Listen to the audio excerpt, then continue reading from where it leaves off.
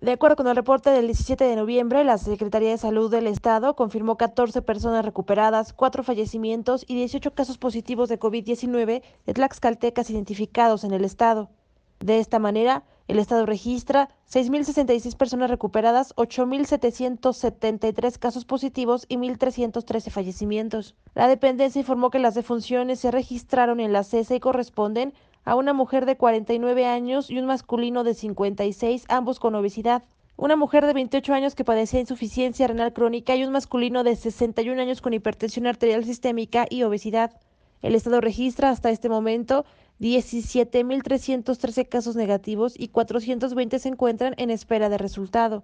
Del total de casos positivos, 4.153 se han registrado en la CESA, 2.931 en el IMSS, 929 en el ISTE y 760 en otros espacios médicos mientras del total de fallecimientos, 535 se han registrado en la CESA, 564 en el IMSS, 185 en el ISTE, 11 en otras instituciones, 1 en un domicilio particular y 17 en un hospital privado.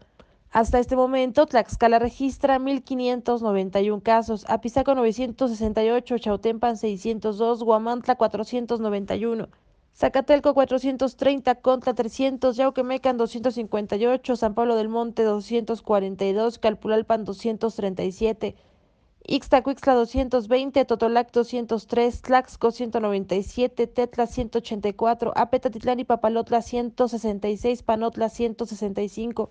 Son Pantepec 156, Santa Cruz Tlaxcala 154, Xalostoc 126, Natevita 119, Tolocholco 116, Tepeyanco 114, Amajac 103, Xicotzinco 93, Tlaltelulco 87, Tepetitla 75, Xaltocan 73, Tenancingo 68, Tetatlauca 66, Tegaxquilta 58, Huaxinco, Nanacamilpa y Terranate 51, Nopalucan y Ayometla 49.